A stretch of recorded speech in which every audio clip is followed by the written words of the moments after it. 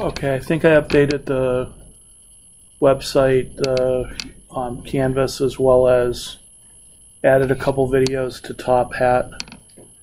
Um, I'll send out a link or an email this afternoon with that'll have your they'll have a take home quiz for Wednesday on chair cyclohexanes, and it'll also have a listing of when the um, chapter six uh, or chapter five stuff will be due. So I think tonight chapter four homework problems are due. I think. Um, so it's chapter five, and technically we're finishing chapter five today. So that means, well, it means probably it would mean like Friday, the in class readings due, and then on Monday, because there's no class on Friday. So I'm going to make both those due on Monday for chapter five, the in class and the extra problems, or in the homework problems. So they'll all be due on Monday, but I'll confirm that. Okay. Um, we left off, I think we talked about the stabilities of the 1 3 or 1 2 dimethyl cyclohexanes. And so the rule is that you want the groups to be equatorial and you want the groups to be um, to be both equatorial if possible. So let's let's do one more here, and let's do something like let's do uh, one ethyl, three methyl cyclohexane.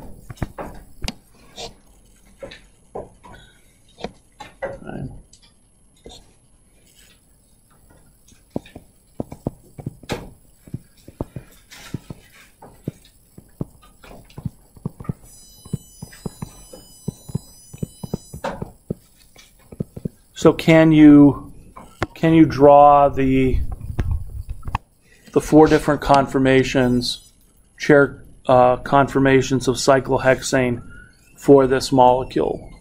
Then tell me which ones are cis or trans, and then tell me their rankings from one to four.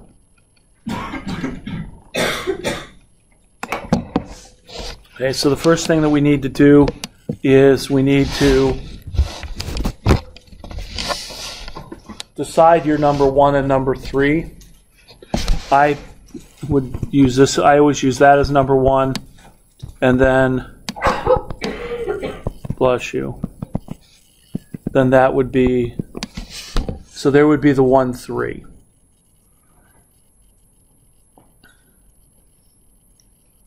And it really doesn't matter what you choose as number one as long as you get the other group into number into the third position, wherever that is on the ring.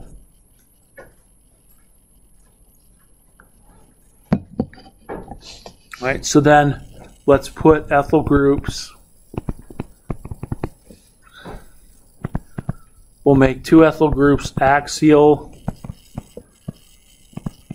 and then two ethyl groups equatorial and then we can alternate the methyls so that in each case we've got the two combinations. So for number one, ethyls axial, methyls axial, ethyls axial, methyls equatorial, and then methyl axial, ethyl equatorial, and then finally for the last one, both the ethyl and the methyl equatorial.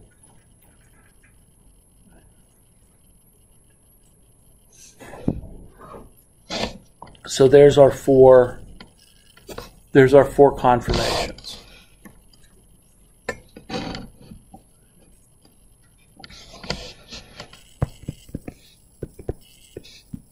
So let me just double check here. Um,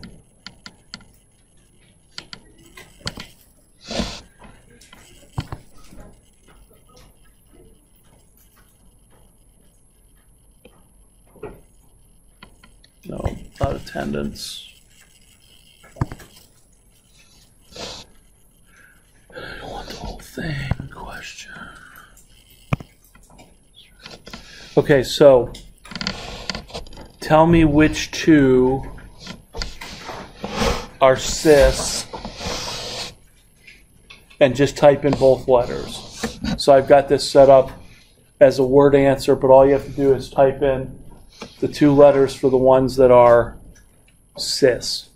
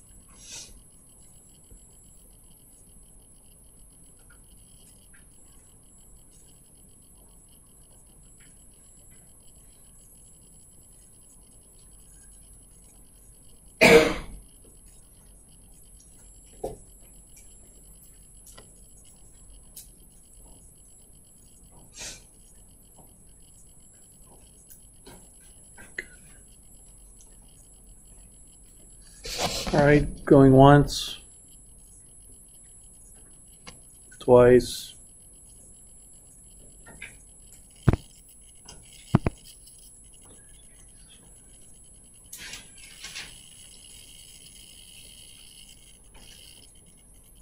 Okay, so it looks like most of our answers are A and D. So, all right, so A is and D is. Okay. Both methyl groups here above the plane of the ring. Both methyl or both alkyl groups here on D below the plane of the ring. And again, if you're uncertain about that, this hydrogen is above, that hydrogen's above. That makes those two below. So use the meth- use the hydrogens as a point of reference. That makes the other two then trans. So first thing I'm going to ask you to do is identify cis and trans. Okay. Right. Any questions about that? So then my next question would be what is the most unstable structure? A, B, C, or D? But what I should do is I should ask, are there any two energy or any two molecules that have the same energy?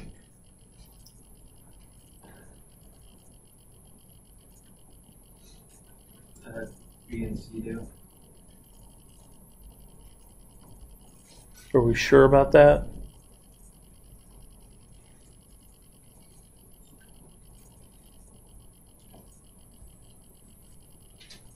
would C be slightly more stable because it has the larger group and then the total. Yes, but that doesn't get at the question of what they have the. They do have different energies. If you have different groups in the axial positions, they're going to have different energies. So a methyl, having a methyl and an ethyl, is not the same as having two methyls. So these will all four have unique energies. So none of these have the same energy. Okay. So then my question would be, and let's just go, let me just go ahead and ask you to do this, but I'm going to have to ask you very specifically how to put in your answer. What I'd like you to do is go from most to least stable, and another way, and put all four letters, no spaces in between them, in a row. In lowercase letters. Okay, so lowercase letters, A through D from most to least, no spaces in between them. And if you want to choose your own formatting for this, then I guess it's going to show up by itself. But that's the way I would like it. All, all lowercase, no spaces, from A to D, rank them in overall energy.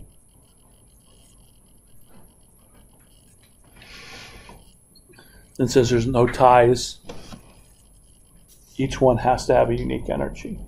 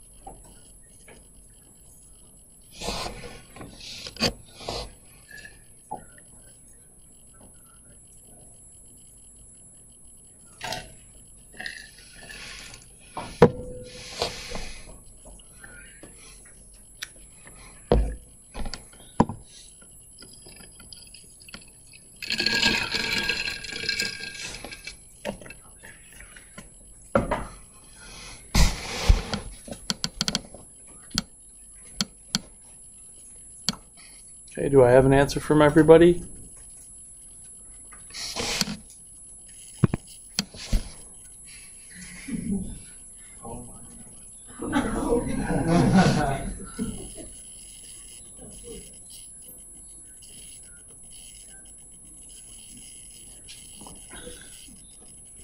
Okay, that's fine.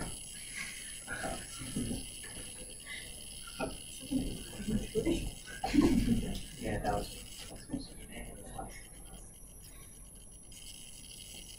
All right, the most popular answer is D, then C, then B, then A. Don't change your answer in the middle of the. Stop. So it's D, then C, then B, then A? So D is the most stable. We agreed on that? Most of us are agreed on that. Why? Because both alkyl groups are in the equatorial positions. All right, the next most stable was C. And so the difference between B and C is one has a methyl group axial, one has an ethyl group axial. And in this case, just like we had for our Newman projections, the bigger the group, the more unstable the interactions. So when you have a methyl undergoing 2, 1, 3 diaxial interactions, that's not as destabilizing as having an ethyl group. So in general, the bigger the group, the more destabilizing it is to have that large group axial. So given a choice, you want the small group axial first, and then for the other conformation, having the larger group axial will be less stable. Bobby? So C is the second most stable. So C is the second most stable, and then B would be number three. So most is A, or most is D, then C, then B, and then finally A, because in A, both of the alkyl groups are axial. And in this case, because it's 1 3, they're not only going to be having 1 3 diaxial interactions with hydrogens, they're going to be having them with themselves. And so that's going to be a huge issue. Okay. So, bigger the group, the more unstable when you put it axial.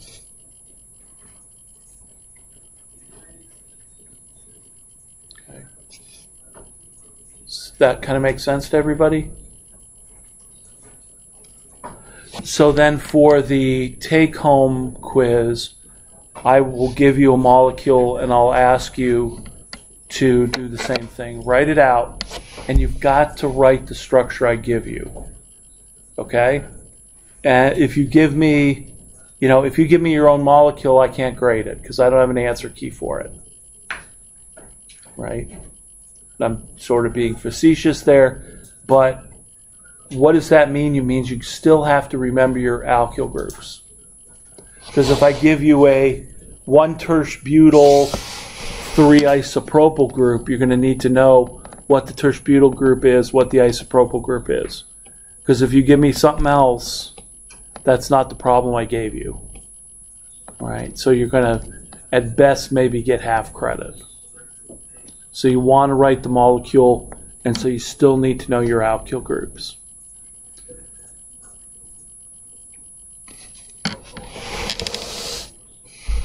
Okay. So I'll so I'll ask you for that. I've I'm just going to send I'll send you the actual thing. You can print it out and then you can write on it. Okay. So this is the important part of cyclohexanes. The other thing we need to be able to do with cyclohexanes is that we need to convert from chairs to flat cyclohexanes and vice versa. Okay, so for instance, if I if I asked you, can you convert this dimethyl cyclohexane into a flat cyclohexane with bold and dashed wedges, could you do that? So the first thing we have to do is figure out a numbering scheme, which I would say goes there. If you go counterclockwise around, or clockwise in this case, around the ring, then you would want to go clockwise around this ring. It doesn't really matter where you start with where the one starts. In my world, number one is here, and number one is there. But you can have a different, you can live in a different world. You just have to make sure that in this case, the two groups are one, three, that there's two, that they are two positions away from each other. Okay. So if I did that, what should the methyl group go on? Should it go on a bold wedge or should it go on a dashed wedge? And then let me give you perspective. My perspective is always I'm above the ring looking down on it.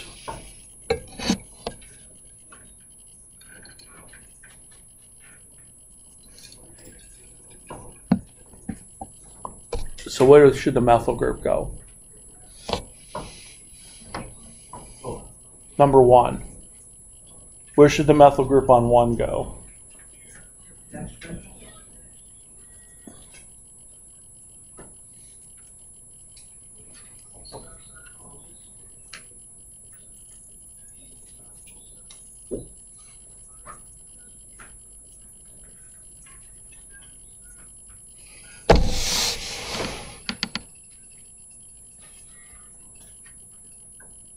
Sydney Sello.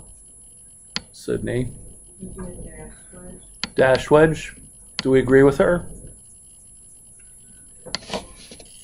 Why?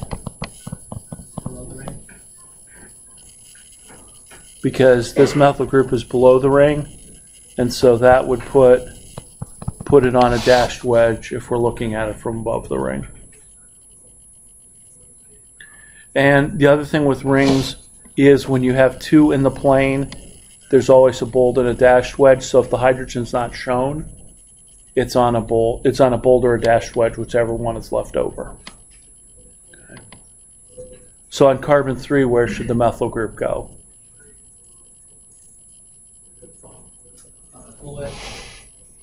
Bold wedge, because that methyl group is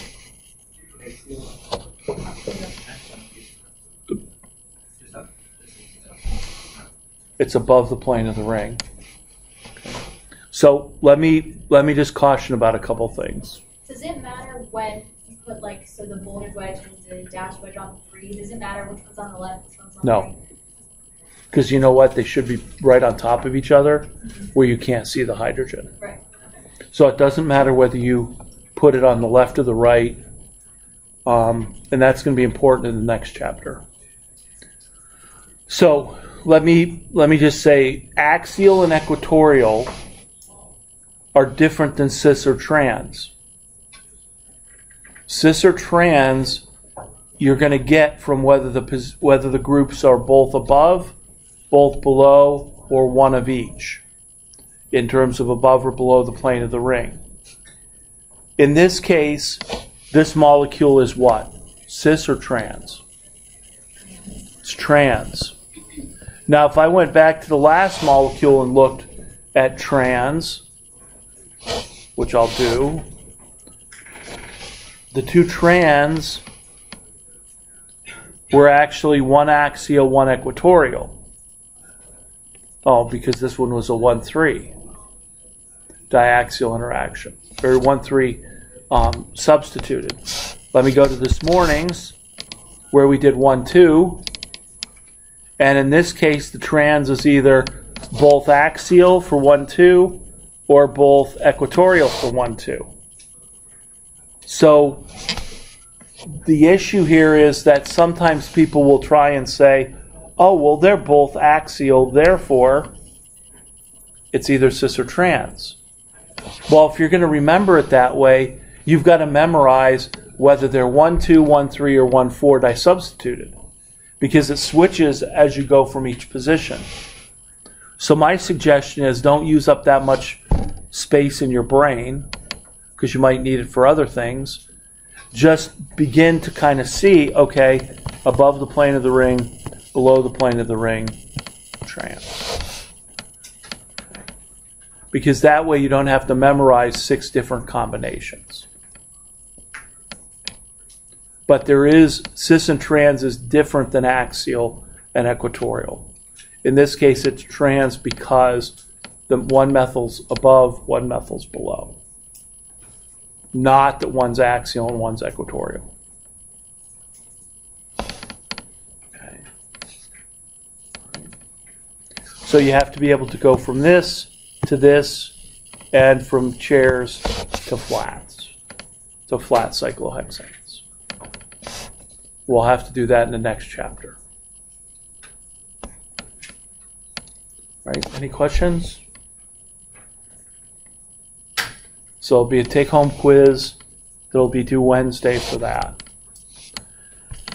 So that means we're done with chapter 5. So now we can move on to chapter 6. And fortunately for us, the first half, or first third, I guess, or first quarter of chapter 6 is review because it's cis and trans and E and Z. In particular, they now have more details on how to do E and Z. Like how should you evaluate a carbon carbon double bond? How should you look at a carbon oxygen double bond? How should you look at a carbon carbon triple bond? Well, we don't need to do that because we already did that. So we can use the Cahn-Ingold-Prelog sequence rules to rank two groups, higher or lower, based on you know what the groups that are the atoms that are attached and what's attached to those atoms. And so we don't have to spend any time. I don't have to spend any class time going back over that because hopefully you know that, and if you don't, and if you need to review, you can go ahead and review it. And you'll review it by going through the problems, and those problems should be pretty straightforward. But what we really want to do is we want to apply that now to what are called stereoisomers or stereochemistry. So if we take a look at all of our different stereoisomers that we know about to date, we have cis trans stereoisomers if we have a double bond or if we have a ring we know about cis trans stereoisomers and these ones cannot be interconverted. Right? I have to break a bond to make the cis the trans and vice versa. So then we have conformers, which are a type of stereoisomer. And conformers were our Newman projections, whether something was staggered or eclipsed.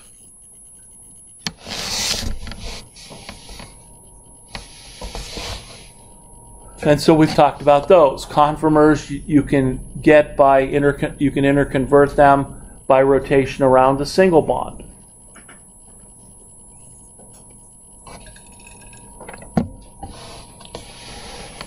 The next type of stereochemistry that we're going to talk about in chapter 6 deals with having molecules that are mirror images of each other.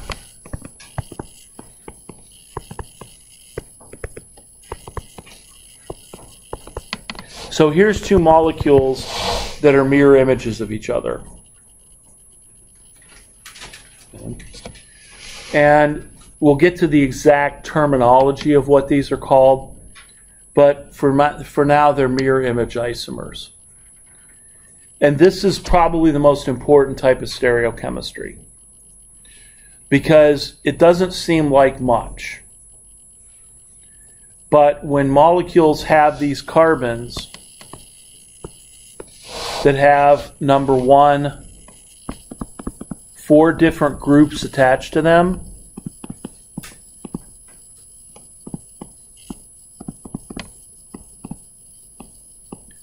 Which means that they're sp3 hybridized. When you have four different groups attached to a carbon, that makes it what we'll call a chiral carbon. And chiral means handedness. So this is the handedness of the carbons.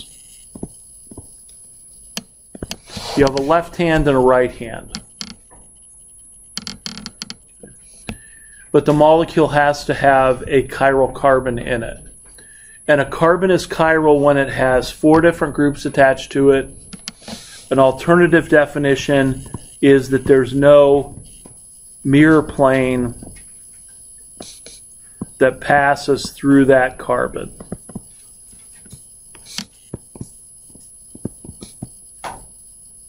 And I'll give you a couple of quick examples, and there's more in the textbook. So, either one of those definitions for a chiral carbon and for a molecule to be chiral, it needs to have at least one chiral carbon. So, there's going to be two dimensions of handedness. One at the, each carbon's level, and overall at the molecular level. So we can have two molecules that are left and right handed forms, but they may contain one to 20 different chiral carbons. But they have to contain at least one. Now, why are these important? Well, we're going to talk about the physical differences of chiral mol- of chiral molecules and chiral carbons on Monday after break because I'll just I have a canned lecture that I do um, after fall break, so you don't have to watch any videos that we're not that we're having videos, but so I'll talk about the physical properties, but the chemical properties um, are sort of analogous to what happens with gloves. Okay? Mirror images, non-superimposable mirror images. My hands, but I've got to do them. I've got to compare them this way. It's not fair to compare them this way. They've got to go this way. So mirror images, non-superimposable. They're chiral. I can't pass a mirror plane through my I can't pass a plane through my hand and make the left hand and the right hand the same. If I had no thumb, questionable. I could I might be able to do that, but the thumb causes that to be a problem. So this these are chiral. Do we have chiral gloves in the lab? Is there a box of left-handed gloves and a box of right-handed gloves? No. So the gloves in the lab are achiral. And if I pulled them out and I laid them on the table, there would be a mirror plane that cuts through the center of the glove that makes that achiral. If I held them up, you'd say, oh, well, that's easy enough to do. Then I can flip them over like that because they don't have a back and a palm. So you just flip them over. Okay, they're superimposable. My either of my hands will fit in either of those gloves, any of those gloves, because my chiral molecule is interacting with an achiral molecule. My chiral hand is interacting with an achiral glove. You could do this with shoes as well. What happens when wintertime comes and I have to break out the winter gloves? there is a left and a right handed glove, right? Because the thumb's like move down. And there's no mirror image. There's no mirror plane through the molecule. So trying to fit a left handed or left hand into a left handed glove is easier than trying to stick it into a right handed glove.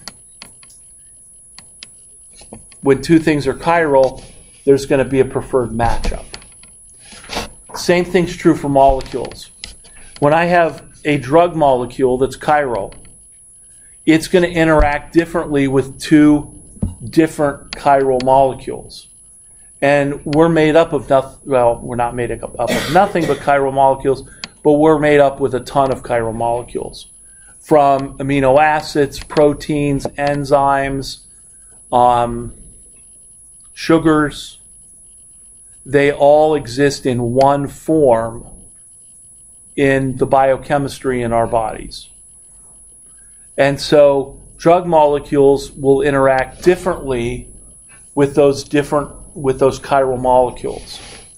And so in drug design, if you have a molecule that you can for, put one make one form of, you have to be careful with that. There are some good exam there are some good examples. You take an Aleve tablet. A Aleve has, and we're going to take the components out of an Aleve tablet later in lab, but an Aleve tablet has one chiral molecule in it, a molecule of one form. And the one form cures my headache, the other form probably do some liver damage. So hopefully there's just that one chiral molecule in my Aleve tablet. And there better be in order for it to come on the market, at least in the US because chiral molecules have to go through a, a ton of stuff. You have to show that they don't they don't change form in the body. You have to show what the other one does, that it doesn't change into that, like when it gets to your stomach, that that other one doesn't have some sort of beneficial property that you're excluding it. Yeah, I could never figure that out myself. Why the FDA was like, okay, well, but the other one could be good too. Well, so what? I mean, we're interested in it not being bad. There's an ibuprofen you can take that'll cure your headache in 20 minutes versus an hour for the 50 50 mixture. Um, the purple pill on that used to be on TV a lot. That's I think it's what Nexium. That's a chiral molecule. um, dopas, and there's all of these molecules that exist in one form or another. In the 60s, there was a drug called thalidomide. And it was the first case where the chiral centers really came into play because it was a sedative for pregnant women. One molecule acted as the sedative, the other one caused birth defects. And they didn't know that until the first babies came, and then they realized that they, you know, that the that the mixture of the two drugs was not good. And don't even don't Google that stuff because they're pretty pretty horrific birth defects. But then it's back on the market. It's like one of the top 100 drugs that are sold because they are selling only one form. Now, my chemical company would not be selling that drug because my legal team would have said, Are you out of your mind? Because what if it metabolizes in your body to the wrong form? What if, you know, you, the, the lawsuit potential would be huge. If you're just into the money, the human factor would be huge. But it is on the market. And it probably has a disclaimer that's like three commercials long.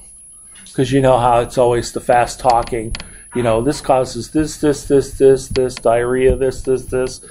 It, it would probably the whole commercial would be like, don't get in the same county with this drug if you're a woman. Um, and so it's, it's it's there, but it's the most it's the most egregious example of how these drugs, how one can really do something bad, and the other one did something positive. So after that, chiral drugs get a lot of scrutiny. But you bu- buy an Aleve tablet, even at Walmart, CVS, it's all the same. It's all chirals. We'll find out. So in when drugs interact with other chiral molecules, they will react differently. In your essential oils, and we when we made our clove oil, there wasn't I don't think there were any chiral centers in that molecule, any chiral carbons in any of its components. But in lavender, I'll talk about Monday, there's one molecule that it can exist in two-handed forms. And one has one sort of description of its smell, and the other has a different description of its smell, which means that we have chiral receptors in our nose that can tell the difference between those two forms. And so, in like perfumery, in essential oil, having the right mixture of enantiomers is important. It's not life or death, but it's important for creating whatever fragrance you want to create. And we'll talk more about that and the physical properties behind them. So, this is an incredibly important topic in terms of knowing what form we have. And it actually is as simple in the molecular level to say, I either have the L form or the D form, because I have the levo or the dextro, which means left and right. But we'll get to the physical property that's responsible for that. What I'm really interested in is how do I tell the exact three dimensional structure of that molecule around that carbon? So, for instance, if I have 2 bromobutane, my question would be number one, I think that's a chiral center. I think that's a chiral carbon.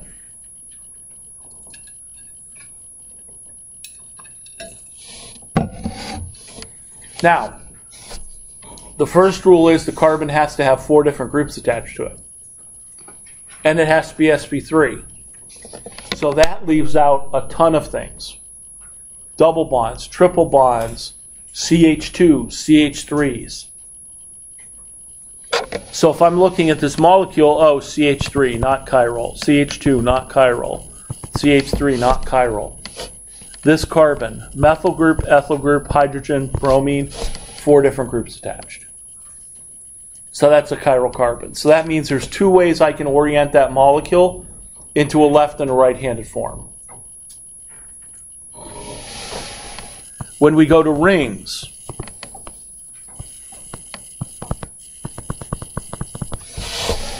If I get if I had that molecule, how many chiral carbons are there in that? It turns out there's zero. Why are there zero? Well, because all the CH2s got eliminated, but this is the last one. I got a chlorine, I got a hydrogen. Then I've got a CH2 and another CH2. And this is where the E and the Z Cahn-Ingold-Prelog sequence rules come in. It's not just a CH2 and another CH2. What's attached to this CH2? Another CH2. What's attached to this CH2? Another CH2. They're still tied, and then I get to the same point. This entire group was the same as that entire group, so that carbon only has three things attached, three unique things attached to it. Two of the groups are the same. It ain't chiral. Okay. Plus, I could use my mirror test. Can I pass a mirror plane through the molecule and go through that carbon? Yep. Now you might say, but the Cl is on one side and the H is on the other. Oh no. The Cl and the H, they're right on top of each other. so that mirror plane cuts through half the C, cuts the Cl in half and the H in half. Because we just saw in cyclohexanes, they're axial and they're equatorial, but there is a plane. But I could say, let's make a, let's make a different cyclohexane. And so let's put two chlorines on there. And not everything with a bold and dashed wedge is going to automatically mean that's a chiral carbon. But in this case, I, I would now make two chiral carbons.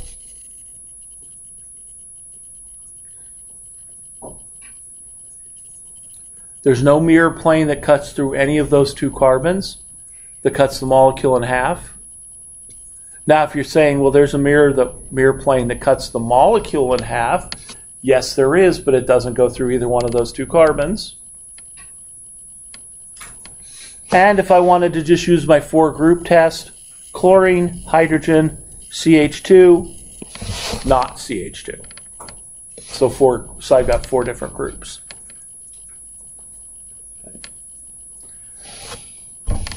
So first thing is being able to identify chiral carbons. I'm sure there's questions like that in the in the book as well as I think I put um, some links. If I didn't, I'll put some homework problems that I have from the past where you just go through and find them. But the first thing we have to do is find the chiral carbons in the molecule. And we're going to start with straightforward ones where there's just one. And then we'll make it a little more complicated maybe on Wednesday. Okay. Right? So we got to have a carbon with four different groups in order to have this left right handed phenomenon.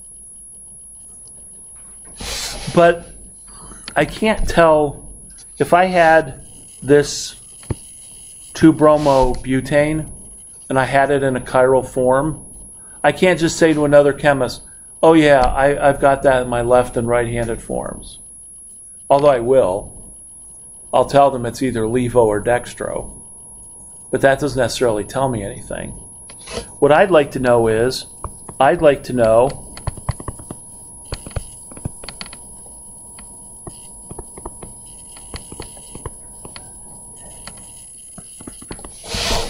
if I wrote it, wrote that carbon two out in a tetrahedral format, and I use my methyls and ethyls, which the book is now using routinely, which I'll just use here for to save me a little bit of time. What's this exact three-dimensional structure? Now, the exact three-dimensional structure of that carbon is called its configuration. That's the exact, this is the exact three dimensional structure of a chiral carbon. And there's two letters that we use to designate that. It's either R or S. Every single chiral carbon has to get an R and an S description. And that tells you whether it's one way or the other way. And R stands for, I think, rectus, and S stands for sinister, which is basically some Latin terms for something. I don't know. My Latin's not up to speed, but it basically is what they decided to use to de- as descriptors. Okay. So how do you how do you determine whether it's an R or an S center? Well, rule number one, first step, I want to rank these four groups from one to four according to the Cahn-Ingold-Prelog sequence rules. And usually, this is the point where we first introduce the Cahn-Ingold-Prelog sequence rules, rules, but you've already been introduced.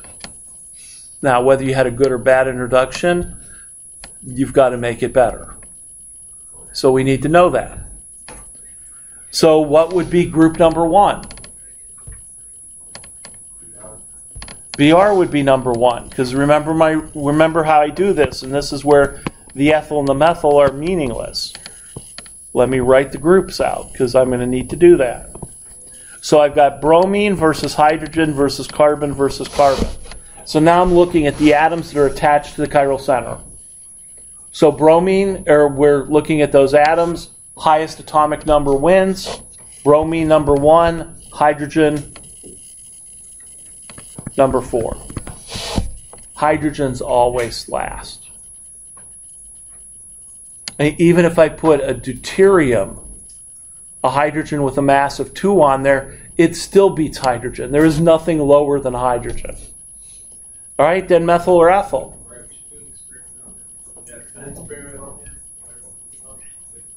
Well, that's not good. They're doing experiments on people. I don't think we have that kind of IRB format here. Methyl or ethyl? Ethyl number two and methyl number three. Okay. That's step one. Okay? So you need to know your Cahn-Ingold-Prelog sequence rules. Now, what's step two? Well, step two is to point the lowest priority group away from me. And if you can imagine this, this uh, tetrahedron looking something like a steering wheel, a very old steering wheel, where the number four group is like away from me, I want to orient it so one, two, and three are like in a steering wheel. That's the old steering wheel analogy that we use. My rule is let's put the fourth priority group on a dashed wedge. And if it's on a dashed wedge, by definition, it's pointing away from me. Okay. So that's the second step. Oh, in this molecule, I already gave it to you like that. What happens if it's not like that? Eh, Wednesday. We'll go through some of the possibilities. So when it is away from me, now what's R and what's S? Well, if I draw a circle from, or if I draw an arrow from number one to number two to number three, and it goes clockwise, that center is R. So once the fourth priority group is away from me, if going from one to two to three is clockwise, it is R. If, on the other hand, it was counterclockwise, then that would be S. So this is how we how we determine the R and the S configurations is by ranking, orienting the molecule so that 4 is away from me, and then is 1, 2, 3 clockwise or is 1, 2, 3 counterclockwise. Okay. And the toughest part of this, well, there's several tough parts, but getting the fourth group away from you might be a bit difficult.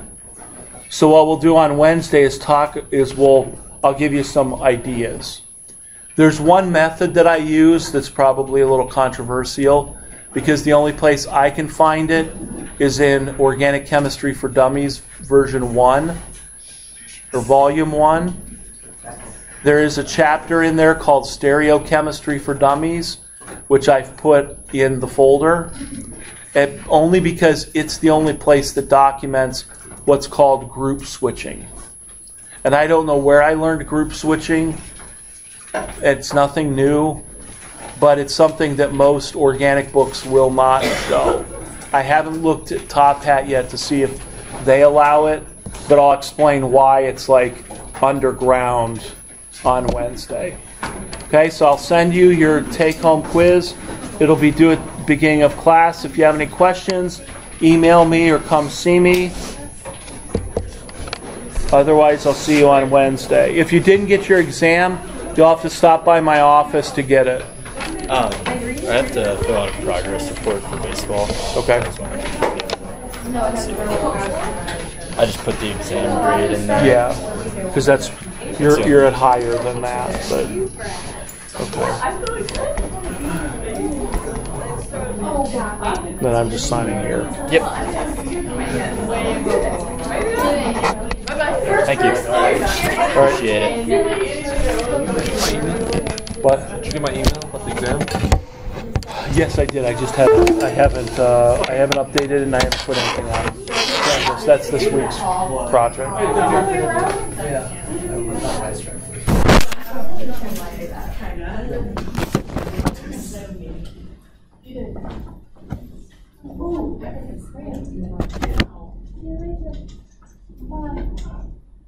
Have a nice day. So I have a meeting with you. Yes, you do. Should I just say? their You have a class in here? question? do. Okay. Um, mine's more just about Newman projections Okay. when considering cyclohexane. Oh yeah. Yeah, these are, I just don't, Yeah, where they're coming from. nope. So, so here's, here's what it looks like. So.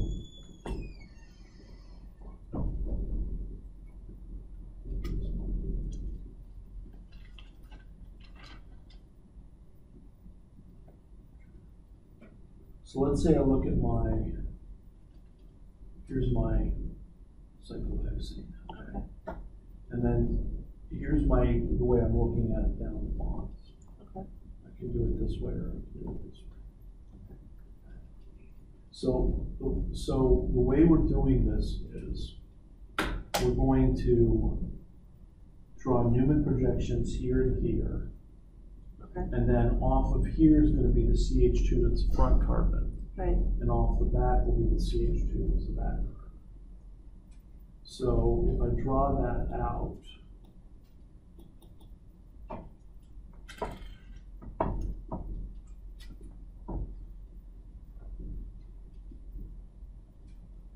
it's gonna look like it's gonna look like so those front carbons, the two hydrogens were down. Right. There, so it's gonna be this type of a, a projection.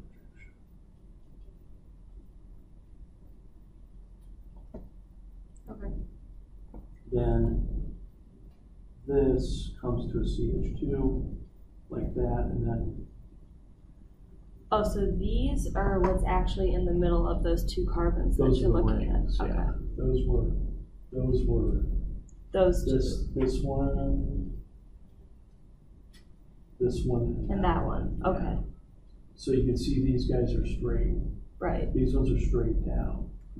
So then the rest of the Newman projection would be, you would have a group there and there on the back carbon, there, there on the back carbon, and then on the front carbon you would have. okay, So there's book problems where there's, they ask the different OHs. yeah, The thing with that problem is that there's, they, they drew it with four OHs all above the plane of the ray. Mhm. So when you're looking at their problems, what you have to do is you have to say, okay, I'm looking this way. So my OHs are gonna be on these carbons. Okay, The first thing you have to do is make sure that the- there's an OH on front and back. okay, But then you also have to realize this is an above this and this are above the plane, and this and this are below the plane. okay.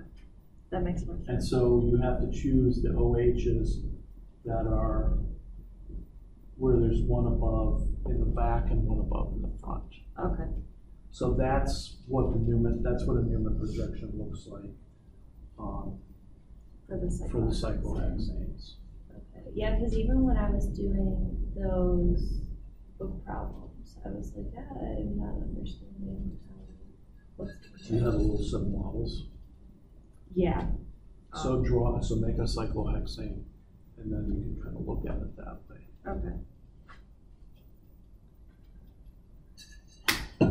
And then I think, I get the R and the S. What you said at the end of class made more sense because Top Hat really didn't explain it when the H is already in the back and you don't have to rotate it.